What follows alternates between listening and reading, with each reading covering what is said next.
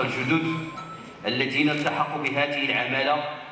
وذلك في إطار الحركة الانتقالية الأخيرة التي عرفها سلك رجال السلطة وذلك تنفيذا للتعليمات السامية لصاحب جلالة الملك محمد السادس نصره الله الرامية إلى تحقيق فعالية أكبر وترشيد أمثل للموارد البشرية بهيئات رجال السلطة من خلال تكريس المعايير الكفاءة والاستحقاق في تولي مناصب مسؤولية بهذه الهيئة. وقبل التعريف برجال السلطة الجدد لا يفوتني بهذه المناسبة السعيدة أن أنوه وأشيد بالسادة رجال السلطة الذين يحظون بالثقة المولوية السامية حيث يؤدون واجبهم بكل إخلاص ووفاء. وذلك من خلال عملهم الدؤوب والمستمر بهذه العمل وأطلب منكم أن يبقوا على أن يبقوا على إخلاصهم وتفانيهم في خدمة هذا الوطن ورعاية صاحب الجلالة وإن وأن يظلوا كما عهدناهم حريصين على تأدية مهامهم بنفس روح التضحية والانضباط والولاء. الدائم لجلالة الملك محمد السادس نصر الله وإياده وبهذه المناسبة أهنئ كل من السادة السيد محمد فاضل الزبور قائد رئيس الملحقة الإدارية 60 بهذه العمالة التي التي شغل هذا المنصب منذ 1 9 2022 والتي تمت ترقيته إلى منصب رئيس دائرة ببوميا بإقليم ميدلت وهي فترة أدى خلالها عملية على الوجه المطلوب. بحنكة وحرفية عالية تتمثل في تدخلاته المدروسة والمتزنة كما حظي باحترام الجميع من سلطات ومنتخبين ومجتمع مدني ونتمنى له كل التوفيق في مهامه الجديدة كما أرحب برجال السلطة الجدد التي نعين بهذه العمالة ويتعلق الأمر بالسيد شفيق الهراسي من من مواليد.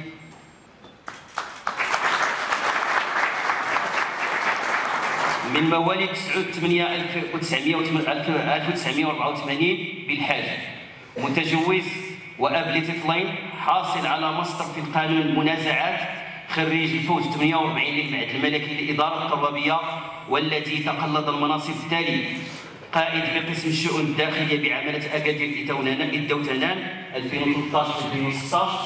قائد الملحقة الإدارية العاشرة بعملة أكادير الدوتنان 2016-2018 قائد قيادة طازوطة إقليم سفرو 2018-2022 قائد قيادة الحمام بإقليم خنفرة 2022-2024 وكان آخرها قائد ملحق بالكتابة العامة بإقليم خنفرة منذ فبراير 2024 وقد تم تعيينه رئيس الملحقة الإدارية 57 إفريقيا.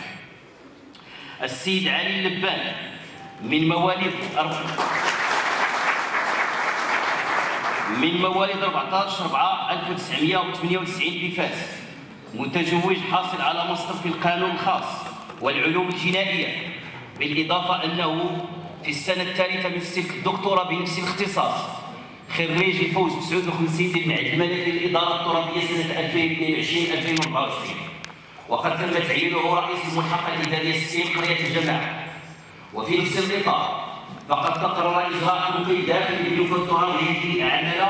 لضمان نجاح وفعالية أكبر. وبذلك ستكلف السيدة القائدة أسماء شبيب المهمة بقسم الشؤون الداخلية عملة مقاطعة المسجد حضرات السيدات والسادة إن المفهوم الجديد للسلطة كما حدده صاحب جلالة الملك محمد السادس رحمه الله يقتضي رعاية المصالح العمومية وحسن تدبير الشأن المحلي كما يتطلب منا الانفتاح على المواطنين وذلك بالاتصال المباشر معهم ومعالجة دانية لمشاكلهم. وكذا إشرافهم في القرارات المتعلقة بتدبير حياتهم اليومية كما أننا مطالبون بالعمل على تطوير وتقليد الحياة العامة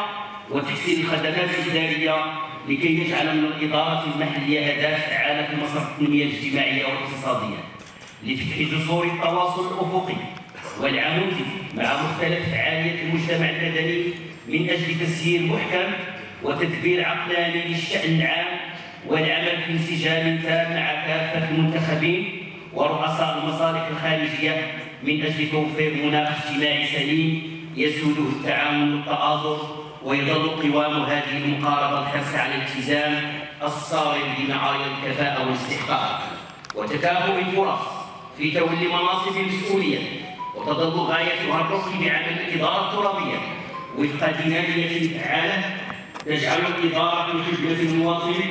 مواكبة لحاجيته وراعية لمصالحه التي لا تتئى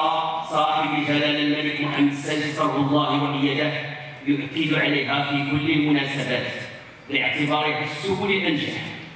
الموقف وفي مستوى المهام المنوط بنا حتى نؤدي واجبنا تجاه المواطن أحسن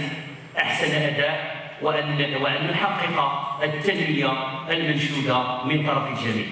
وفقنا الله جميعا لما فيه خير هذا البلد الأمين. تحت القيادة النيرة الملك الهمام أبقاه الله ذخرا وملاذا لشعبه الوفي وحفظه في ولي عهده الأمير مولاي الحسن وسائر أفراد الأسرة العلوية الشريفة. والسلام عليكم ورحمة الله تعالى وبركاته.